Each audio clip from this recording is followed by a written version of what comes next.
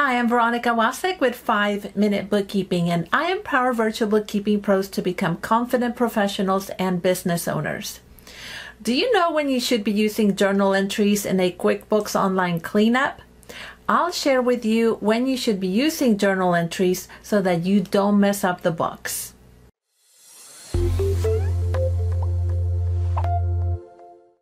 Let's talk about the use of journal entries.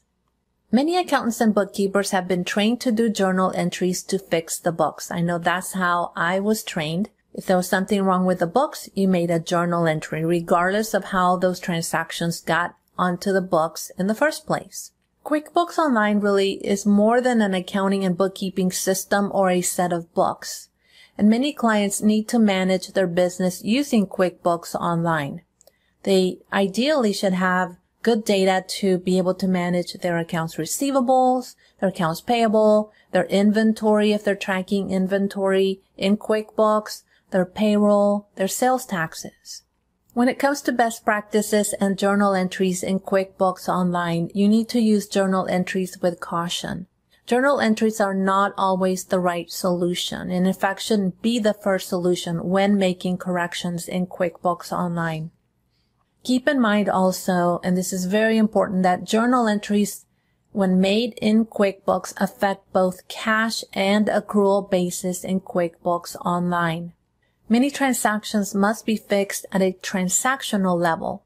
And if you're familiar with subsidiary ledgers, then you know what I'm talking about. You need to fix the transactions in accounts receivable, accounts payable, bank reconciliations, undeposited funds, inventory, payroll, and sales taxes.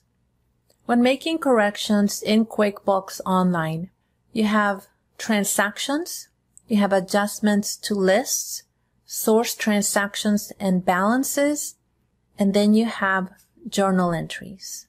And corrections should be made in that order. First look at whether you need to make adjustments to transactions, whether there should be adjustments to any lists, source transactions, or balances, and then see whether you should be adjusting using journal entries. Let's go over this in more detail. Let's say that we need to correct accounts receivable. The list that we may need to correct are the customer list and the products and services list.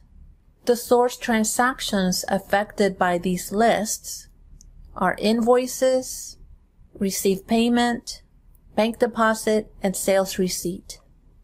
The adjustment that we would make to fix most of the source transactions would be a credit memo. So if I was adjusting accounts receivable, then I would need to use a credit memo to adjust accounts receivable. Next is accounts payable. The lists are vendor list and the chart of accounts. The source transactions, expense, check, bill, and pay bills. And the adjustments we might make are a vendor credit or a credit card credit. Then we have bank reconciliations.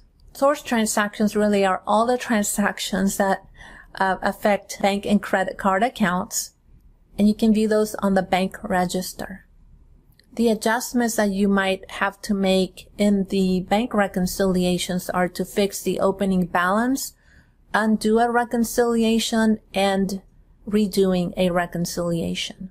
Next is undeposited funds, source transactions to receive payment, sometimes sales receipts, and adjustments is uh, adjusting the bank deposit or the sales receipt, and even sometimes the received payment transaction.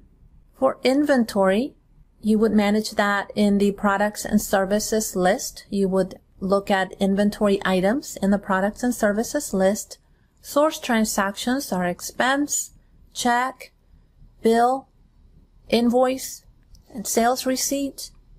To adjust inventory, you want to use an inventory quantity adjustment. For payroll, it's really governed by the payroll setup as well as payroll preferences. And when you have payroll problems, if you're using QuickBooks Online Payroll, You may need to make some corrections using payroll preferences or you need to contact tax support. And then we have sales tax. Sales tax is also governed from the uh, sales tax setup. Source transactions include invoices and sales receipts. And to make adjustments, you need to go to taxes, record tax payment, and make adjustment. What happens when we make a journal entry? Should we be making journal entries? When can we make journal entries? For accounts receivable, I really don't recommend using journal entries. You should fix the source transactions first. For accounts payable, same thing. I don't recommend it. Fix your source transactions. For bank reconciliations, you may use journal entries to write off old uncleared transactions. For undeposited funds, I do not recommend using journal entries it really won't fix the problem. It doesn't make the problem go away at all to try to, to just zero out undeposited funds using a journal entry. For inventory, if the client is using inventory items, you should not be using journal entries. You should only be adjusting inventory.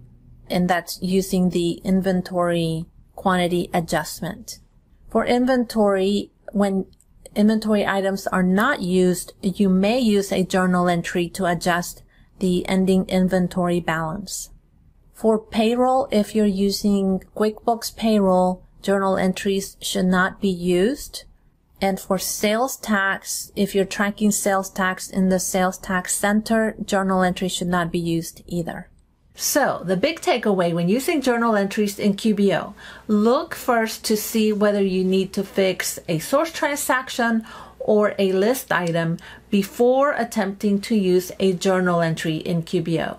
Otherwise, you may be trying to clean up the books with journal entries, but may end up messing them up even more. I'm Veronica Wasek with 5 Minute Bookkeeping. Do you need a QuickBooks Online Cleanup Checklist? And check the description below for the link to purchase my own colossal cleanup checklist. And look for the links to join my Facebook community and other resources, including my own Academy for Virtual Bookkeepers. If this content is helpful, then make sure that you subscribe, ring the bell, and give me a thumbs up. And let me know in the comments if there are any other topics you'd like me to cover in the future. I'm here to help you. I'll see you next time.